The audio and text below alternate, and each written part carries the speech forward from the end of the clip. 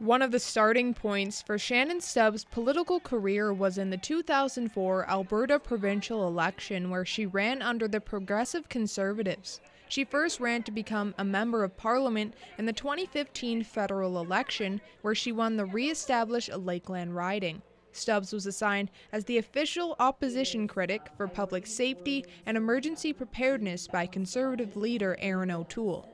In a statement released to the media, Stubbs expressed her thoughts on the re elected Liberal minority government.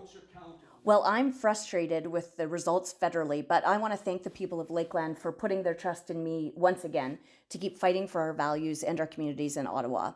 I never take it for granted. Since being elected in 2015, I've door knocked throughout the 52 towns and visited the nine First Nations and Metis communities across Lakeland every single summer.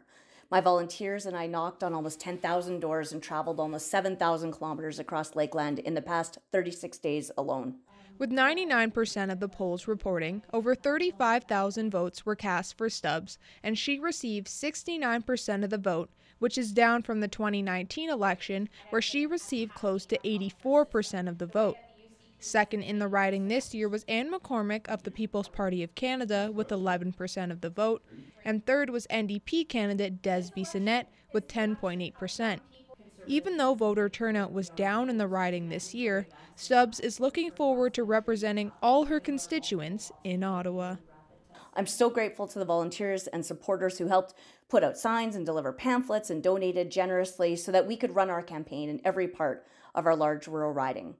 My number one focus is always to represent my constituents unapologetically and at every opportunity.